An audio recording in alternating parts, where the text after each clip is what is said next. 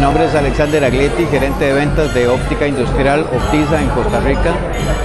Le deseo un próspero año nuevo y una feliz Navidad a todos nuestros clientes en Latinoamérica y Centroamérica.